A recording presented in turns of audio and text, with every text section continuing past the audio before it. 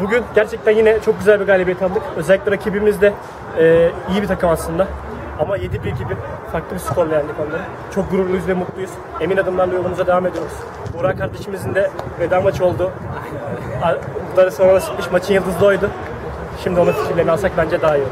Evet Buğra.